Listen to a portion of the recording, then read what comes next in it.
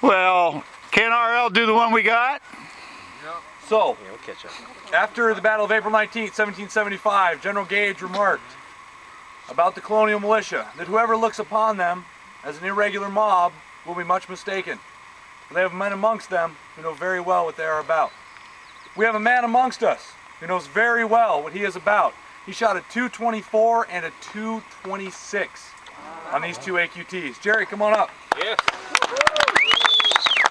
Jerry did something between his last trip to Appleseed and this trip to Appleseed. You know what that was? Practice. He practiced. And he shot those AQTs today and he said, you know, I think I got it. Because I practiced since last year. Here he is. Oh,